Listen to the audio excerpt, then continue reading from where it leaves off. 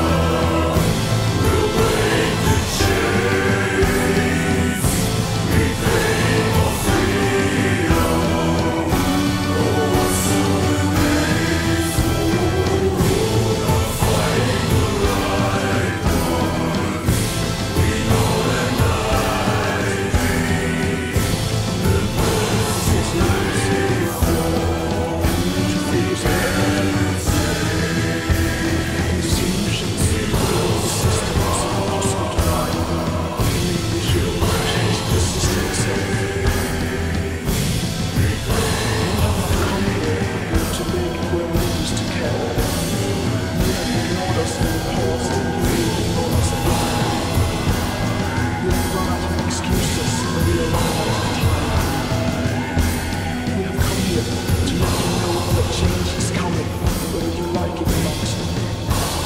The real power belongs to the people.